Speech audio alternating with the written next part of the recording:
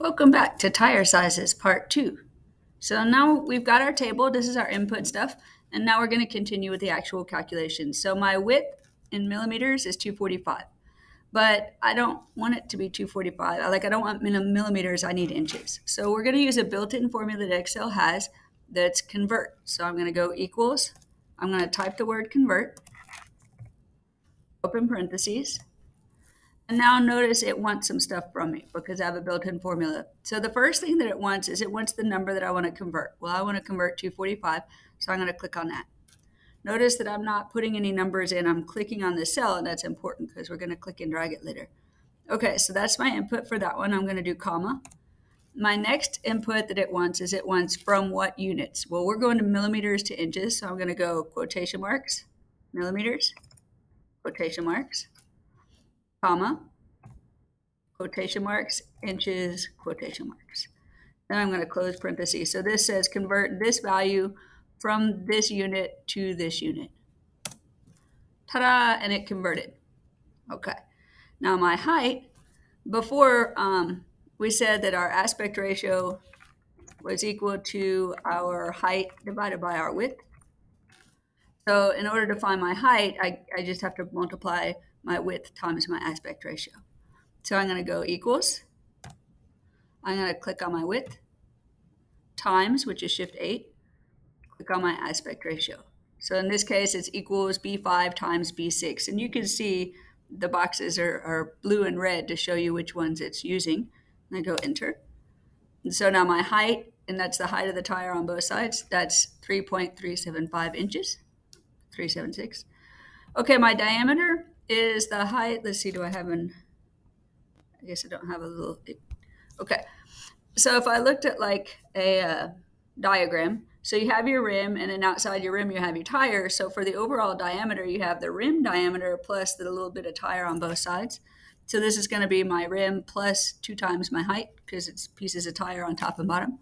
So I go equals this one plus, which is shift equals, and I want two times that one. So two, shift eight for times, and then I click on my height. So for me, it's equals B8 plus two times B7. That gives me that. And then my circumference is pi times my diameter.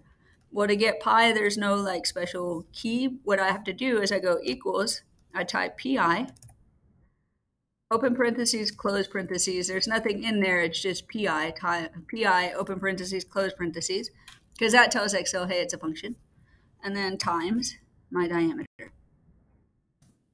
That's my overall circumference. Now, I want to do the same for all of these, but since I set up the formula instead of typing in numbers, I don't have to do the actual work. So check this out. If I want this one, I go, see at the very bottom right, there's a little square. And if you hover over the square, it turns into a tiny plus. If I click that, hold it down, and drag it across, it fills in the calculation for me. So I do the same thing here, bottom right corner till it goes to a tiny plus. Click it, drag it, and it's there. And then these two, since I'm dragging both across, I can select them at the same time. So I grab both of those, bottom right corner tiny plus, click it, drag it, and it fills it in.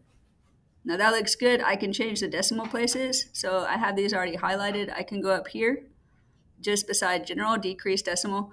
I could decrease it down to two or three decimal places I'm just going to put two. Same with these, but we're going to run out of time. Okay, so the last thing that I did in this one is I wanted a scale factor in these. I'm going to highlight these.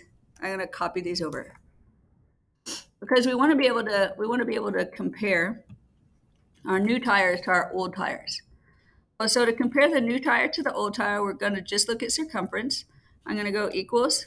I'm going to click on the circumference of tire one, divide so slash, click on the factory. I'm going to go through this kind of fast because I am going to run out of time. I'll go equals, click on this one, divide, and we're always going to refer back to factory. So this is why I'm not clicking and dragging. And I go equals. And then same here, I go equals this one, divide, factory, enter, and there's that. Okay, so I want to use my scale factors and I want to I want to compare it to my speed. And so I'm going to run out of time for sure on that one. So that's going to be our next video, which will be part three.